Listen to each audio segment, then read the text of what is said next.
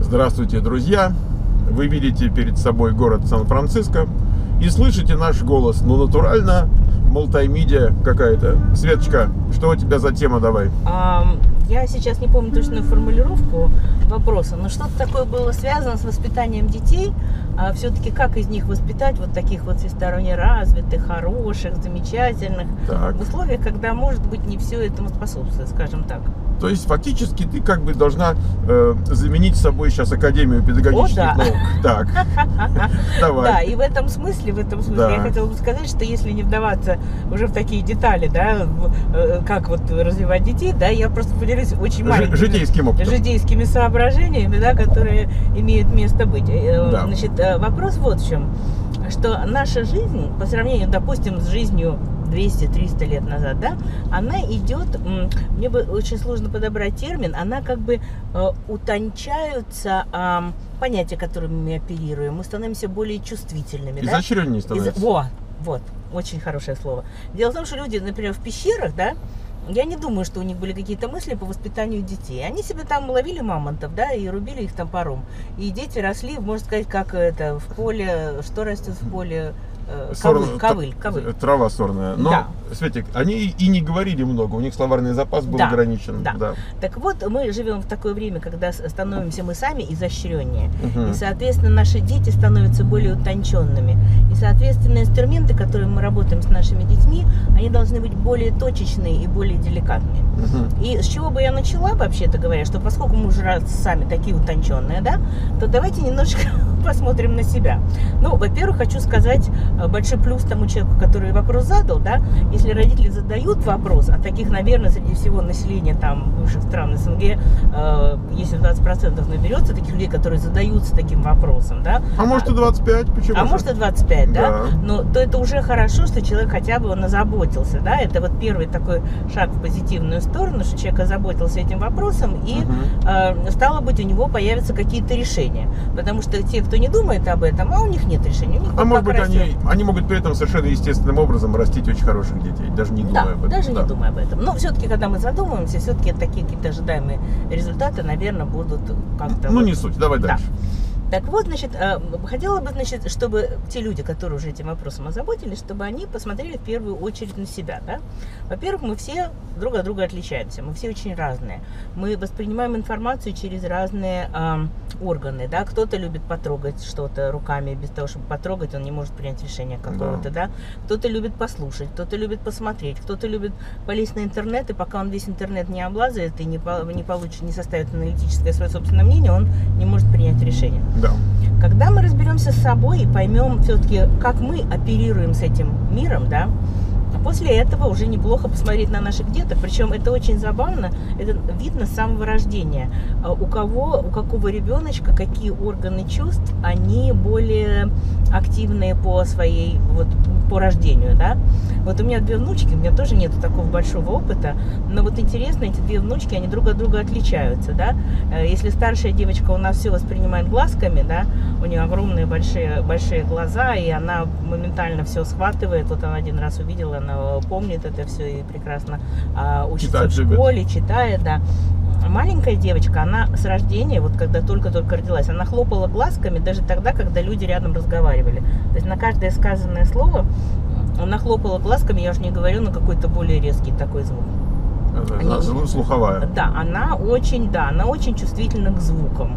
Вот старшая девочка, она не была в таком возрасте настолько чувствительна к к звукам, она спала и, в общем, сейчас спит как убитая. Можно уточнить? Да. Э, Вот э, ты считаешь, что если ребенок вот с рождения такой э, звуковой, акустический, он и дальше обязательно таким будет? Может, он как-то изменится Вот, резко? вот, вот это уже тот вопрос, где очень много зависит от среды и от родителей.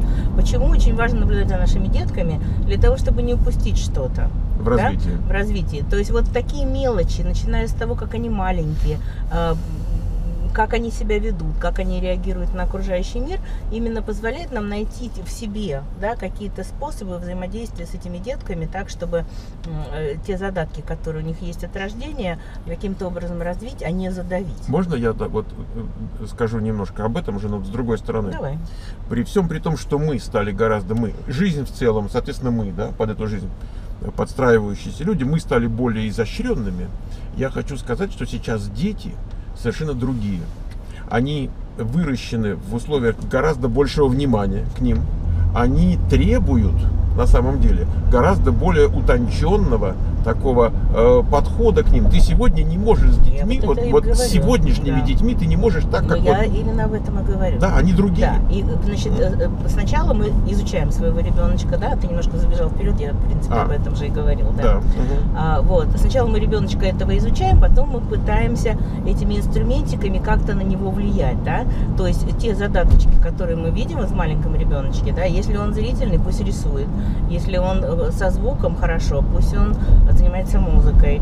А если он э, например, э, мастерит что-то руками, да, может его в какой-то кружок отдать, э, где там чего-то лепят или что-то такое делают руками. Но это самое Керамику. общее рассуждение. То есть первое, мы наблюдаем за этим ребеночком и пытаемся возлелеять в нем те задатки, которые в нем есть. Второй момент, очень важный. Дело в том, что воспитание а, в равной степени, э, на воспитание ребеночка влияет в равной степени и общество, и семья, и окружающая среда, друзья, знакомые и так далее. Поэтому, дорогие родители, вы в первую очередь посмотрите на себя. Вообще, что вы несете необдуманно вот в в повседневной жизни, вот день за днем. Как вы друг с другом общаетесь. Дети подхватывают это все на раз. Это И- раньше называлось, что э, дети нас воспитывают. Да, Да. потому что дело в том, что все те ценности, которые вы хотите, чтобы они были у детей, если у вас этих ценностей нет, вам очень тяжело будет их привить. То есть фактически э, вот задумывающиеся над воспитанием детей родители, они должны подумать, а что мы хотим вырастить, да, а сами-то мы как живем? Вот в Да. этом усложняющемся мире. Какие у нас ценности? А, вот, откуда ребенок подхватит правильные ценности? Вот сегодня очень многие жалуются, что э, дети растут и совершенно ничем не интересуются. А интересуются у кого какая модель айфона, айпэда, кто на какой машине его привезли в школе. Ну, а от- оно же не идет ниоткуда, оно же идет откуда-то, да? Наверное, в семье эти вещи как-то проговариваются, да, что это какие-то важности очень Ты, большие. ты- ты знаешь что? Ведь еще же есть сейчас интернет, еще есть телевизор. Все-таки все-таки люди смотрят. Э, И это, это же такой источник. Да, я хочу сказать, что на самом деле ведь это Мгм. очень сложно в условиях, когда окружающая среда а, исповедует ценности, которые вы бы не хотели видеть в своем ребенке, воспитать нечто такое, как альтернативу этому. И это, в общем-то, достаточно э, достойная задача, да. То есть, несмотря на то, что... Да, еще вот еще один момент, который я хотела за- заострить на нем внимание. Дело в том, что вот эти наши чувствительные детки гораздо больше чувс- чу- э, чувствительны к чувству собственного, до- все чувствительно, к чувству собственного достоинства, К ущемлению. к ущемлению своих прав. Да, мы когда были маленькие, и нас в школе э, всякие няньки там и учителя били мордой об стол, нам было это неприятно, но мы выживали. Это было общепринято. Это да. было общепринято, может быть и сейчас это общепринято, но сейчас другие дети, сейчас дети более, э, более трепетные, более нежные, и когда их уже мордой об стол, это может серьезно покалечить их психику. И, конечно, а, должно быть уважение к личности ребенка с самого Слушай, детства. Свет, да не то, что ребенка мордой об стол. Когда родители с друг другом орут друг на друга и конфликт, это травмирует ребенка невероятно как, понимаешь? Конечно, Да. конечно. Но дело в том, что вот уважение к личности ребенка, оно должно быть с того момента, когда он появился. Этот ребенок со своими интересами, со своими склонностями, со своими способностями. И научиться родителям вот этого маленького человечка не просто любить, да, любовь, она как бы, это понятно, а вот уважать его достоинство, вот это очень важно. Я помню, что когда я была маленькая, а, папа любил повторять фразу «яйца курей не учат». А, вот Курицу, наверное. вот он говорил, яйца курей не учат, Курей. да. Окей. Вот. А, так вот сегодня вот эта фраза, она как бы, я считаю, что она не имеет права на жизнь. Потому что она является уничижительной по отношению к этим деткам, которые которые... Э, Что, э, нам звонят. Это тебе звонят. Мы возвращаемся после звонка, извиняюсь. Да, да. Значит, э, так вот, уважение к этому э, маленькому существу, которое только появилось на свет, э, очень важно, потому что м, относиться к уважением к его потребностям, да, пытаться понять эти потребности, а не сказать, эти потребности никому не нужны, и они ничего не стоят, а вот ты должен делать так. Вот это очень важные вещи, которые, в принципе, и формируют человека. Да? То есть, на самом деле, задача, в общем-то, она и сложная, и простая одновременно. То есть мы можем одновременно говорить о том, что нужно быть более внимательным к своим детям, да? уважать его личность, и тогда оно все остальное как бы к этому приложится. То есть понимать, что наши дети хрупкий психологический механизм, да, и мы не хотим его ломать и переделывать, а мы даем ему право на самоопределение, на Давай, развитие. давай может, может быть, вот что. Вот смотри, вот я тебя слушаю и вспоминаю, как мы росли с братом. О, я. Ну подожди, значит, нас, ну, больше брата, чем меня, немножко так чморили, э, там, прическа, там, ну, папа, он как-то такой армейский человек, он как-то ему все хотелось, чтобы прическа была ближе к солдатской, но все-таки э, родители не заморачивались. Вот, то есть мы знали с детства, что надо учиться в институте, да, вот это мы знали. Эм, и я даже не могу сказать, что служба в армии, я не хотел служить в армии, но отец, например, говорил, что я бы в армии очень бы хорошо пошел, я такого типажа э, в армии востребованного, я бы там себя хорошо чувствовал. Наверное, это. Но все-таки, значит, и они абсолютно не, не интересовались, какие кружки или там спортивные секции мы ходим. Мы, абсол- мы были предоставлены в этом смысле сами себе. И, и, и сами ходили, я в десяток разных секций или там кружков ходил. Я записывался где-то в школе, в Дворце пионеров, там в станции технического там творчества, это юношеской там и так далее. Там боксом занимался, самбо занимался, хоккеем занимался, чем я не помню, чем там еще не занимался. И вот в школе с этим спортивным ориентированием по ночам бегал там по Подмосковью с картой, с компасом. И а- абсолютно их это никак не волновало. И отец не любил бокс. Мама ему не говорила. Вот он, я смотрю там по телевизору бокс, отец идет мимо и говорит, как это родители разрешают, чтобы детям вот так по морде давали. Значит, и, значит, а мы сидим с матерью тихо, значит, там смотрим. И вот э, к чему я говорю, Свет, вот ты говоришь, интересоваться, вникать, вот такое. Э, я не могу сказать, что мы росли как, э, я не знаю, там, ковыль в степи, э, потому что родители, которые пережили войну, они считали, что высшее как бы благо для ребенка это чтобы он был накормлен, чтобы он был здоровенький, чтобы он был веселенький. И я когда спрашивал э, их уже потом, ну, я же сам пошел в физмат-школу, они же они ж меня, не- они даже, у них и в мыслях не было, но я спрашиваю, почему меня в английскую школу не отдали? Я когда пришел в 57-ю школу, там у нас на 35 детей, там, я не знаю, 28 было из английских школ, из французских, я не знаю. У нас английская школа была 10 минут от дома. Я говорю, что же вы меня не отдали? Они, мама говорит, ну мы хотели, чтобы ты был веселенький, чтобы ты в футбол поиграл. Ну чего, вот- тебе, чего тебе лишний? там- Ну вот это и есть как раз э, подтверждение моим словам о том, Ну. что сегодня люди более чувствительны ко всем этим вещам. То есть раньше вот э, у меня возникает такой образ, знаешь, одно дело так вот рубить ребеночка топором, да, а другое дело вот таким вот ювелирным инструментом вытачивать, да. С другой стороны, при всем том, что все стали более как бы эм, такие вот нежные, да, с другой стороны, тут еще одна тенденция имеет э, место быть. Это, например, действительно в наше время дети очень много делали чего сами. То есть я уже в 10 лет спокойно приходила из школы домой, открывала ключом дверь, э, там грела себе какую-то еду и была Конечно, вполне самостоятельным ребенком. Сегодня, э, наверное, от того, что появилось много машин и детей возят не всегда в школу, которая рядом с домом, и сам он добраться не может.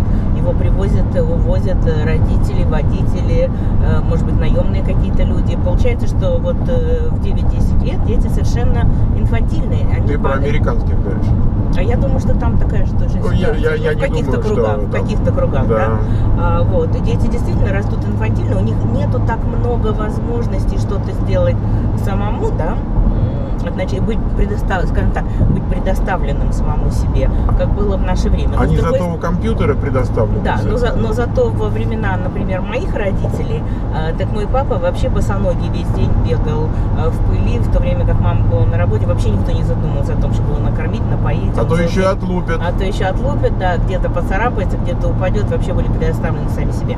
То есть, да, с одной стороны, жизнь усложняется, и темп этой жизни усложняется, и усложняется обстановка вокруг нас, и дети получаются такие более как бы изнеженные, да, и менее самостоятельные.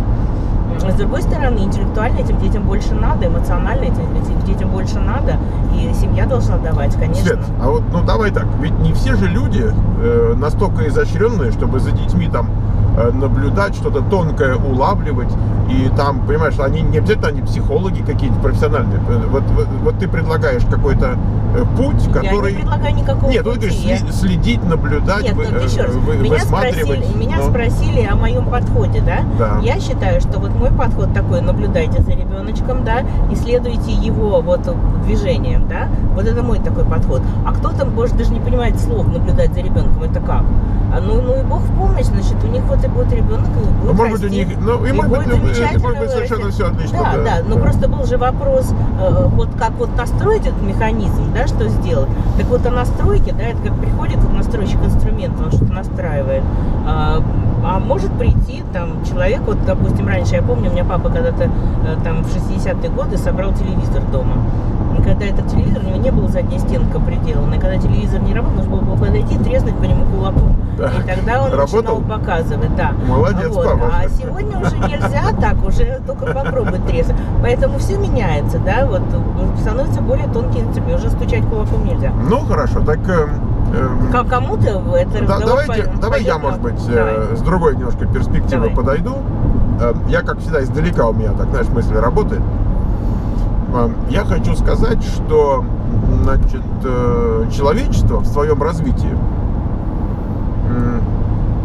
имело несколько кардинально важных событий, фактов, так сказать, этого развития, как э, переломных по своему значению. Вот, например, э, первым таким я бы значит, назвал э, появление речи. Да? То есть человечество существует, вот, ну, как наука нам говорит, э, в том виде, в каком сегодня, вот где-то там э, полмиллиона лет. И только 50 тысяч лет назад возникла речь, она стала появляться, развиваться, пришла вот к тем формам, как мы сейчас имеем. И когда появилась речь, э, кардинально изменилось человечество, потому что э, люди могли передавать опыт от поколения к поколению в изготовлении инструмента, там, в пище, в добыче того и сего. И каждое следующее поколение было немножко лучше, эффективнее, чем предыдущее.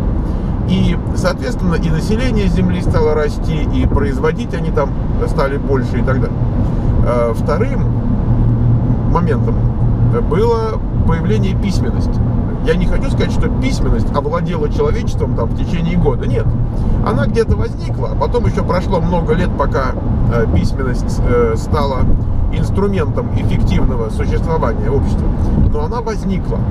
И когда возникла письменность, уже серьезное знание, да, стало возможно для изучения, для обобщения, для воспитания и так далее. И общество кардинально стало меняться. Третий момент в этом во всем, я сейчас приду к тому, о чем мы говорим, значит, я не совсем ушел в сторону. Третьим моментом было появление книгопечатания. Когда появились книги, да, началась техническая революция. Эпоха Возрождения началась. Это все связано в один, в один клубок. И, эм, да, значит, книгопечатание. И можно сказать, что сегодня э, мы получили интернет. Мы, можем сказать, что до интернета было тоже интересное э, приближение интернета. То есть сначала возникла там э, телеграфная связь, радиосвязь, телефонная связь, да, вот это все. Оно тоже способствовало, потому что обмен информацией э, от поколения к поколению между людьми, континентами и так далее, все это, э, ну, как бы электрически, электронно. Э, И вот на вершине этого всего сел интернет. И сегодня человечество, с появлением интернета, человечество подвергается такому же кардинальному, фундаментальному изменению, э, которому оно подверглось возник- при возникновении речи, при возникновении письменности, при возникновении книгопечатания. Вот мы сейчас, на глазах у нас у всех, мы переживаем вот это, вот это время. Поэтому дети вот этого времени, их ценности, э, в том смысле, что вы можете дать этому ребенку, э, вот эти ценности, они кардинально отличаются от тех, которые нам давала, давали наши родители. Потому что мы жили в индустриальную эпоху, где сила общества определялась производством. Когда-то это было э, сельскохозяйственное производство, да? потом вот индустриальное. А, а сегодня мы живем в информационную эпоху. И я специально вот делал видео небольшое о том, что Майкл Блумберг, когда выступал тут месяц назад перед выпускниками университета э, в Чикаго, он им он, это просто что-то бесподобное. Он им сказал, что то, чему, то главное, что вы получили, не, не, не находится в вашем учебном плане. Это не имеет отношения к вашему учебному плану. Сегодня ты не можешь рассчитывать получить профессию и там всю жизнь в ней проработать вот без того, чтобы там 10 раз переучиться заново. Понимаете, это уже невозможно. Мы в другом мире совершенно живем. Поэтому, если вы э, на своего ребенка вот через эту призму посмотрите, что вы можете ему дать, то вы можете дать ему фундаментальные ценности, с которыми люди идут по жизни, независимо ни от чего. Трудолюбие, уважительное отношение э, там, к старшим, вообще к другим людям, э, терпимость. Э, ну, нравственность, как бы, это очень, очень широкое такое понятие. Да, я, я просто о таких, так, таких вот вещах. Безусловно, быть нравственным человеком лучше, чем быть безнравственным, да, с точки зрения воспитания детей там, и так далее. Вот, поэтому э, вот это самые главные ценности, которые вы можете в них воспитать. Я вот когда слышу вопросы, какой язык программирования изучать, понимаете, мне плохо делается, дурно делается, потому что э, дело же не в том, какой язык. Ну, или ты умеешь программировать, или не умеешь. Ну, какая? Вот я еду на машине, называется Lexus. Ну, ну я что, специально права получал, чтобы Lexus водить? А отдельно права на Ford и отдельно права там что, на Mitsubishi? Ну, это же ерунда полная. Понимаете? Вот когда чтобы ваши дети не задавали вопросы, какой язык учить, понимаете? А чтобы, чтобы они видели большую картинку и, и понимали, что язык это не цель, а средство. Ну, не, ну, кроме языка там и так далее. Вот, чтобы они открыты были, открыты к восприятию. Я вчера э, заснял 5 или 6 интервью с очень интересными людьми. Вот на этой конференции СВОД я, когда снимал их, Свет, представляешь, у меня руки тряслись от счастья. Я думаю, боже, какие люди потрясающие. Это надо, чтобы каждое видео 100 тысяч человек посмотрел. К сожалению, там хорошо, если посмотрят две или три, но это потрясающие люди. И они, я их спрашивал каждого, для молодежи, скажи мне, вот что ей делать молодежи, как ей расти, как развиваться.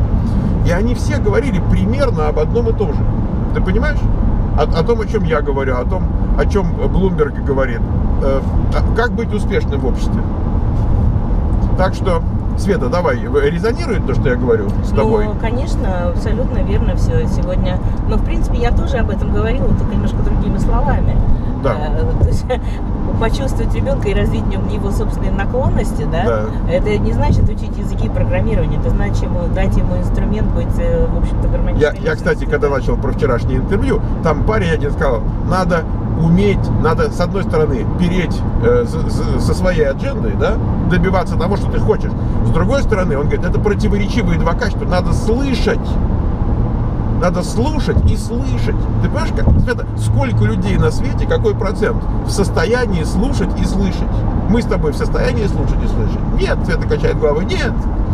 Но мы хоть, хотя бы знаем об этом.